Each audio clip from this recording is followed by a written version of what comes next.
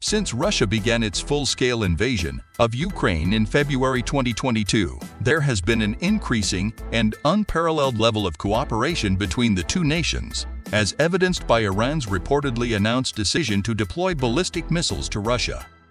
Welcome everyone, in today's video. We're going to tell you Russia plans to supply 12 fighter jets to Tehran, Iranian official confirms. Russia received roughly 400 potent surface-to-surface ballistic missiles from Iran recently, according to Reuters, which cited information from multiple unidentified sources. It was reported that a large number of the weapons were short-range tactical ballistic missiles, like the 300-700 km Zolfaghar from the Fateh 110 family. But before we proceed the further video, if you're new to this channel, remember, go ahead and to hit the bell icon to subscribe so you won't miss the informative videos we will upload in the future. Washington has not verified the report, which Iran has thus far refuted. The announcement of a new kind of bilateral military cooperation was made on January 24, 2024, by Iranian counterpart Rear Admiral Ali Akbar, Ahmadian of the Islamic Revolutionary Guards, Corps and Russian Security Council Secretary Nikolai Patrushev. Tehran's choice may have been influenced by the possibility that the missile shipments would indicate a qualitatively different degree of cooperation, as well as shifting dynamics in the Middle East. Iran has always been reluctant to give Russia ballistic missiles because it fears retaliation from both the United States and Europe. Up to October 2023, a UN Iran was concerned that when the arms ban on missile deliveries to it eased, the European members of the UN the 2015 Joint Comprehensive Plan of Action would introduce the snapback mechanism, as decided by the Security Council. However, Iran can now lawfully provide the missiles, and approving these arms exports is entirely optional. European nations chose to keep restrictions on missile exports in place, but they were unable to use the universal UN fines. Iran's perspective has likewise been profoundly impacted by the Gaza war. Uh, before October 7, 2023, the United States and Iran had reached a deal whereby Iran reduced the amount of highly enriched uranium. It was accumulating and freed five dual citizens of the United States in exchange for access to $6 billion in blocked oil profits and a softer implementation of oil sanctions by the United States. Tensions between U.S. and forces backed by Iran have increased from Gaza to Syria, Iraq, and the Red Sea following the Hamas attacks and Israeli retaliation. This has made future U.S.-Iranian deals less likely. The issue of quid pro quos also arises. Moscow is in need of missiles as the war in Ukraine enters its third year, and it may be more willing to grant Iran's requests for advanced Russian weaponry. But there are also important features of the growing military collaboration between Russia and Iran. Iran has provided Russia with weaponry, artillery rounds, and even constructing a whole factory on Russian territory to produce Iranian-style drones. Tehran declared in November 2023 that it will receive Mi-28 attack, helicopters, and Russian Su-35 fighter fighters. Despite reports that the sale was finalized, it doesn't seem like it has happened yet. If verified, Iranian ballistic missile exports to Russia imply that Tehran will shortly get fighter aircraft, helicopters, and possibly even the S-400 missile defense system. Russia also launched an Iranian satellite into orbit in February 2024, indicating growing cooperation in the space sector. According to Iranian media, combat trainer Yak-130 aircraft have already arrived and are prepared for service. Additionally, Russia might start using the brand new Iranian kamikaze drones, known as Shahed 100 ones, which are being used deadly against American forces in the Middle East by militias supported by Iran. Searching military links between Iran and Russia are part of a larger partnership. For example, Tehran and the Russia-led Eurasian Economic Union completed a long-awaited free trade agreement in December 2023. The two also declared they were about to execute a significant bilateral agreement in the same month. This would probably take the place of the 2001 contract, which was initially set for 10 years and was repeatedly extended. The new agreement will last for 20 years and aim higher in terms of political, economic, and military cooperation. During a meeting of the Iran-Russia Joint Economic Commission in Tehran on February 28, 2024, Iranian oil minister Javad Oji and Russian Deputy Prime Minister Alexander Novak signed 15 Memorandum of Agreement. Nevertheless, in 2023, bilateral commerce decreased by 17 to $5 billion in spite of these accords. Iran and Russia are unlikely to form an official partnership. The current collaboration is more flexible and allows both sides to be more adaptable in the global setting. Russia and Iran have never been big fans of formal alliances. They have been criticized by both for being a product of the Cold War that the West, as a whole, still embraces and promotes. Rather, a bilateral relations roadmap between the two nations is expected to be released, which will probably mention things like respecting each other's sovereignty, the need to advance a just multipolar world order, and the destructive and careless actions of the West. This might bear resemblance to the 25-year agreement Iran and China inked in March 2021. This did not materialize into a full-fledged alliance, and it has not resulted in significant increases in Chinese investment or trade with Iran too far. The pact between Iran and Russia may face comparable obstacles due to the additional restrictions imposed on the Iranian economy. Furthermore, Moscow is not prepared to support Iran on all significant matters. The two hold different opinions about Syria, the South Caucasus, and even the Red Sea, where the Houthis rebels, who are supported by Iran, have lately opened fire on Russian oil-carrying ships. In order to put more pressure on the United States in the Middle East, Russia needs stronger ties with Iran. Washington is also concerned that Moscow has changed its mind about Iran's nuclear program and is no longer against Iran gaining full nuclear capability. Tehran and Moscow are getting closer to forging a de facto united front against the United States from the Black Sea to the Persian Gulf, owing in part to the deployment of Iranian drones in Ukraine. Moscow views Ukraine as a stand-in state that Washington uses to hurt Russia. This forces Russia to see Iran as a tool for American retaliation. Iran, though, has its own cards to play. Tehran is aware of Russia's need for it, and it is unlikely that the Islamic Republic will consent to being drawn into a mess in the Middle East for the sake of Russia. Iran has no intention of going to war directly with the United States or Israel, which limits Moscow's ability to use Tehran as a significant diversion for the West. Longer-term possibilities for collaboration between Iran and Russia appear bright, nevertheless. Russia, which invaded Ukraine and was hit with sanctions, has been looking more and more to the Middle East and Asia. Iran likewise has an eastward gaze. Given the presence of hardliners in both Tehran and Moscow and the likelihood of ongoing conflict with the West, both cities believe that closer bilateral ties are necessary.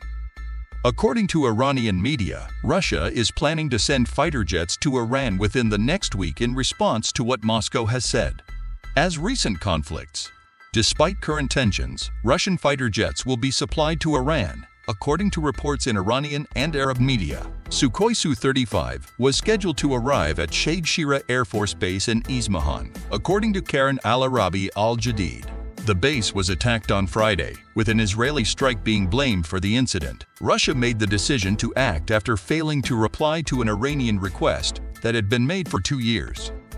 According to the media story, Tehran would receive 12's 35 jets, the first of which would arrive this week.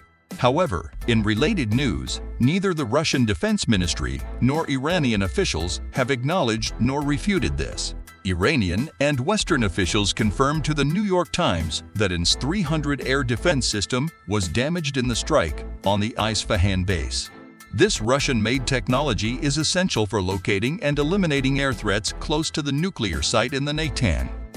RAN examined satellite images that were made public yesterday. Benicia confirms these results, demonstrating serious harm to a highly advanced radar component of the system at the Shaki Shira 8 Iranian Air Force Base. Since 2022, U.S. fears over the deteriorating security ties between Russia and Iran have grown.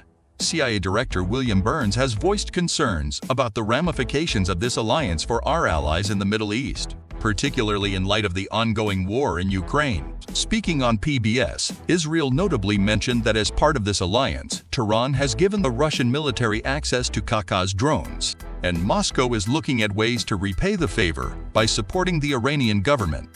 The U.S. has expressed concern about Iran's growing closeness to Russia, pointing out that this relationship has made it easier for a large amount of military hardware and knowledge to enter Tehran. There is increasing concern that Russia may supply Iran with air defense systems and helicopters, among other advanced military equipment. Furthermore, because of Western sanctions, Iranian pilots have been training in Russia to fly the cutting-edge 35 fighter jets, considering that Iran's present combat aircraft fleet is antiquated. Iran's aerial capabilities might be greatly improved by these contemporary Russian jets. Ferd Parches, an opposition journalist, this morning, on the social network X, formerly known as Twitter, outlet Iran International posted video from the Shahid Jira Air Force Base near Ivan. According to Paris, there is evident evidence of the destruction of air defense equipment in the before and after photographs of this base, which were allegedly the target of an Israeli attack. Just two days ago, a senior American official told ABC that the attack was carried out by fighter jets, most likely targeting an air defense radar that was crucial to the nuclear site's defenses. Potential targets include bunkers, aircraft hangars, and air defense systems that comprise both launchers and radars at the Shahid Shira Air Force Base, which is located adjacent to the city's international airport. This data is taken from an Alma Research Center paper.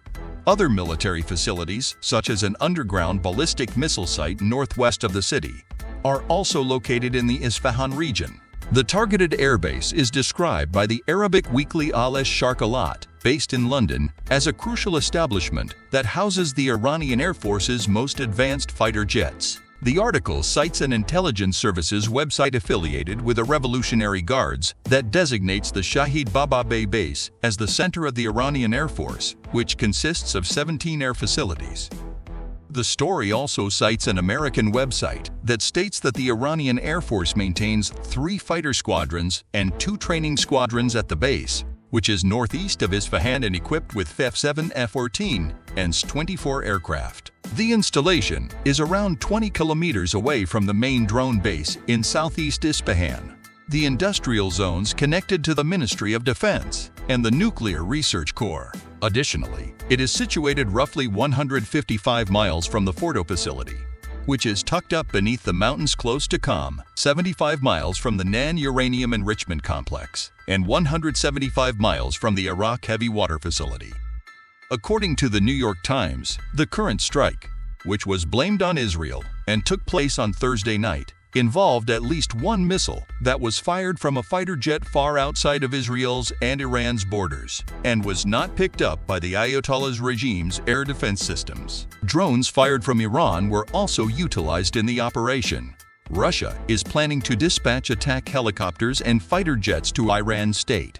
The action, according to the media, might deepen relations that the U.S. is already concerned about in a deal that would greatly strengthen Iran's air force.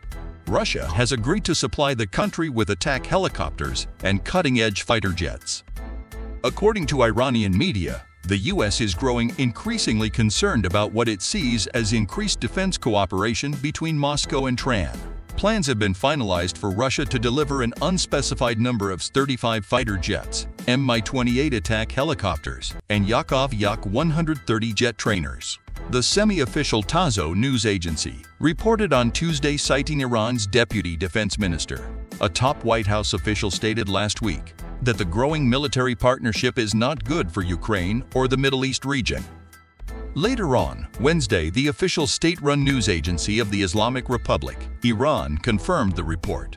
The contract, which Tasnim reported would be Tehran's first fighter aircraft purchase since the 1990s, has not been officially confirmed by the Kremlin. Iran had previously declared that it had closed a deal to buy the Su-35, a multi-role fighter that has been operating in Ukraine. But Tehran was still seeking to purchase more military hardware from Moscow, such as attack helicopters and combat training aircraft. John Kirby, a spokesman for the National Security Council at the White House, informed reporters that this was a component of the growing military collaboration between Iran and Russia as Moscow has become more isolated on the international scene due to its unjustified war in Ukraine. He claimed that this enlarged defense cooperation is detrimental to K, the people living around Tehran and the global community. According to Kirby, Aon has previously given Russia-guided aerial bombs, artillery ammunition, and drones. The most infamous of which is the Shedlang munitions, which have been used to terrorize civilian infrastructure and cities in Ukraine. However, the U.S. is becoming increasingly worried that Tehran might go above and beyond the help by arming the Russian war machine with ballistic missiles. In exchange for that assistance, Russia has been providing Tehran with unparalleled defense assistance, encompassing air defense and missile electronics. In response to Iran's support for Russia's war in Ukraine, Kirby said, adding that Iran has already taken a number of steps, including implementing numerous U.S. sanctions designations and working with partners like the European Union to expand the scope of their sanctions authorities and their designations. In the end, Kirby said, Iran is seeking billions of dollars worth of military equipment to strengthen its own capabilities. According to Kirby, the IRNA observed that the Su-35s that are part of the purported agreement will strengthen Iran's armed forces and allay growing concerns that Russia was abusing Iran's military cooperation. According to the source, Moscow views the arrangement as significant since it would demonstrate its ability to obtain international military sales. Before the invasion of Ukraine, Moscow was the world's second largest arms exporter only surpassed by the United States. In 2021, the Congressional Research Service reported that, up until that point, the Kremlin had supplied weapons to more than 45 nations, accounting for 20 of all sales worldwide. Of those sales, aircraft accounted for half. However, the conflict between Russia and Ukraine has caused a disruption in these sales. The Institute for the Study of War is a crucial part of the nation's defense infrastructure. According to an ink tank based in Washington, it might yet take months for the Russian planes to be transferred. Since late 2022, Iranian officials have stated frequently that they would soon get advanced aircraft from Russia, but they have not received anything. However, analysts wrote a review on Tuesday. Russia's military assistance to Iran coincides with efforts by the two nations to politically coordinate this. According to issues specialists, Iranian and Russian officials have been in constant communication with one another in recent weeks to discuss the current Israel-Hamas war and work together to promote a ceasefire. They produced reports on Iran for a number of Middle Eastern militant groups, such as Hamas in Gaza, Hezbollah in Lebanon, the Houthi in Yemen, and several proxies in Iraq and Syria. Over the past two weeks, the U.S. has cautioned Tehran several times to prevent the situation from getting worse and turning into a regional war. Yet there have been numerous instances of gunfire directed towards U.S. forces in Syria and Iraq. In order to defend Iran from Israeli and U.S. strikes, Russia is thinking of giving it access to advanced fighter jets and air defense systems. The Washington Post claims that Moscow and Tehran's military collaboration has advanced to a new degree. Based on the information provided, Iran has agreed to deliver thousands of combat drones and missiles to Russia in 2022 to aid Moscow in its war against Ukraine, opening a hazardous new chapter in the two countries' relationship. The deeper connections facilitated agreements between Moscow and Tehran, such as Russia's pledge to supply its friend with cutting-edge fighter aircraft and air defense systems which Tehran might use to strengthen its defenses against any upcoming airstrike by the United States or Israel. The number of systems that have been supplied and put into service is unknown, but officials and analysts believe that Iran might become a far more dangerous foe with improved ability to shoot down planes and missiles, thanks to Russian technology. According to intelligence officials and arms experts, the arms deals, some of which have not been made public before, are a part of a larger collaboration that also involves the joint production of military drones in Russia, the sharing of jamming technology, and real-time assessments of weapons that are being used against NATO and in Ukraine. They claim that by working together, both nations stand to gain significantly and Iran's standing is raised from that of a minor ally to that of a strategic partner. Air defense and aircraft According to intelligence experts, Russia is moving forward with agreements made in secret to provide Iran with Su-35s, one of the country's most potent fighter bombers. This could pose a challenge to Iran's Air Force's drastic modernization, which is primarily comprised of reconditioned American and Soviet aircraft built before to 1979. Additionally, Russia has promised to aid with the development of rockets to launch additional satellites into orbit and to offer technical support regarding Iran's spy satellites. The Su-35 has not been delivered, according to any available information. A U.S. and Middle East intelligence officer, who is aware of the agreement speculates that Iran's delayed payment for the aircraft could be the cause of the delay. Regarding defense, Iran has been requesting from Russia the most recent anti-aircraft missile batteries for a long time in order to defend its military and nuclear installations against potential attacks by the U.S. or Israel. The United States and European states put pressure on Moscow to delay the supply of the weapon, but Tehran negotiated an agreement in 2007 to purchase the Russians' 300 anti-aircraft system. The voluntary prohibition expired in 2016 and Iranian S-300s began to operate in 2019. Since then, Iran has attempted to obtain the more potent Russian S-400 system. However, it is unknown to the general public if Moscow has taken any concrete efforts to provide 400 batteries. Certain S-400 variations are outfitted with radars that can counter modern military aircraft stealth systems. U.S. and Israeli jets that occasionally operate in Syrian airspace face a potentially fatal threat from Russia's S-400 batteries, which it has stationed there to defend its military installations following the death of two Iranian generals in an Israeli bombing on the Iranian consulate in Damascus on April 1. Iran decided to deploy drones and missiles against Israel over the weekend. The Israel Defense Forces Chief of Staff, Lieutenant General Herzi Halevi, declared on Monday that Iran's attack will be met with a response. The new Russian anti-aircraft missiles, which are being delivered to defend subterranean bases built out of rocky hillsides, would undoubtedly make Iranian airspace a more dangerous place. According to Can Kasapoglu, a senior scholar at the Hudson Institute, Moscow's gain. Intelligence authorities claim that Moscow gains from this cooperation as well. Late last year, Russia decided to purchase additional military hardware worth around $2 billion including anti-drone defense systems, which have become a high priority for Russian generals in Ukraine. This is in addition to the thousands of drones that Russia had already bought from Iran. According to a recent intelligence assessment, Iran has separately agreed to sell Russia surface-to-surface -surface missiles for use against Ukraine, and the weapons should be sent soon. Officials state that intelligence services have not yet discovered any proof that the missiles have been delivered. Meanwhile, intelligence officials claim that the two nations are now working together to produce war drones. At first, Tehran sought to assist its partner in closing a gap in its military operation against Ukraine by providing drones to Russia. In the autumn of 2022, Russia, which possessed combat drones at the start of the conflict, started utilizing two varieties of Shahed drones manufactured in Iran.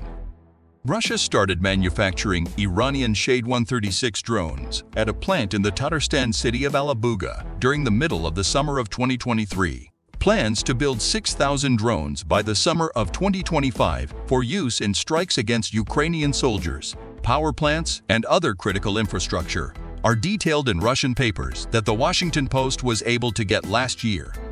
That's all for today's video.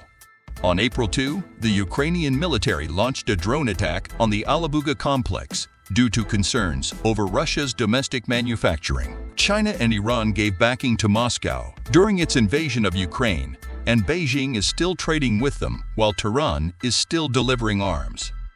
Don't forget to like the video and hit the subscribe button to avoid missing any new videos from our channel. Thanks for watching and see you all soon.